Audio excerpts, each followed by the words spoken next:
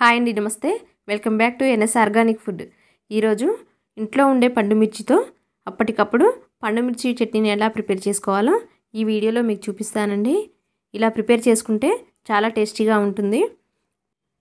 Half kilo వరకు పండు మిర్చిని తీసుకొని నీట్గా క్లీన్ చేసి తడారే వరకు ఫ్యాన్ కింద ఆరబెట్టానండి. స్టవ్ ఆన్ చేసేసి ఇలా నీళ్ళు తీసుకొని ఒక గిన్నెలో పెట్టేశాను. ఇవి మరుగుతున్నప్పుడు చింతపండుని వన్ ఫిఫ్టీ గ్రామ్స్ వరకు తీసుకున్నాను. హాఫ్ కిలో పండు మిర్చికి వన్ ఫిఫ్టీ గ్రామ్ అయితే కరెక్ట్గా సరిపోతుందండి.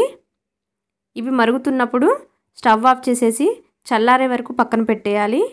నెక్స్ట్ ముందుగా తీసుకున్న పండు మిర్చి ఉంది కదా ఒక జార్లోకి కొంచెం కొంచెం యాడ్ చేస్తూ ఇవి మెత్తగా గ్రైండ్ చేసుకోవాలి.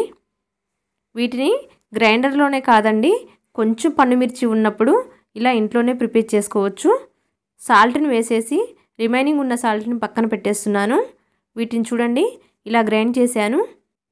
ఈ చట్నీని వేరే బౌల్లోకి టర్న్ చేస్తున్నాను. ఇలానే రిమైనింగ్ ఉన్న పండుమిర్చిని కూడా గ్రైండ్ చేసేసి ఈ బౌల్లోకి తీసుకున్నాను. నెక్స్ట్ లాస్ట్ టైం పట్టేటప్పుడు మాత్రం ఇలా ఒకసారి బ్లెండ్ చేసిన తర్వాత సాల్ట్ని వేసేసి ముందుగా నానబెట్టుకుని ఉన్న చింతపండుని మిగతా మసాలా ఐటమ్స్ని కూడా యాడ్ చేయాలండి వన్ బై వన్. చూడండి చింతపండుని వాటర్ని తీసేసి గుజ్జు ఉంటుంది కదా ఆ గుజ్జుని మాత్రమే యాడ్ చేస్తున్నాను. నెక్స్ట్ అల్లంని పావు కప్పు వరకు యాడ్ చేశాను.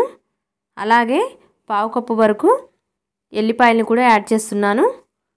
నెక్స్ట్ పసుపు అలాగే మెంతి పొడిని కూడా యాడ్ చేశాను. వీటిని మెత్తగా బ్లెండ్ చేయాలి. వీటిని మెత్తగా బ్లెండ్ చేసిన తర్వాత ముందుగా పట్టుకున్న చట్నీ ఉంటుంది కదా దాంట్లోకి యాడ్ చేస్తున్నాను. ఇక్కడ కొంచెం కేర్ఫుల్గా ఈవెన్గా కలుపుకోవాలండి. చింతపండు యాడ్ చేసిన తర్వాత ముందుగా పట్టిన చట్నీలోకి మంచిగా కలిసేటట్టు కలుపుకోవాలి. ఇలా కలుపుకున్న తర్వాత కొంచెం పోపు కూడా వేసి చూపిస్తానండి మీకు. చూడండి ఇలా కనుక ప్రిపేర్ చేసుకుంటే చట్నీ వన్ మంత్ వరకు నిల్వ ఉంటుందండి. చాలా ఈజీగా ప్రిపేర్ చేసుకోవచ్చు కదా.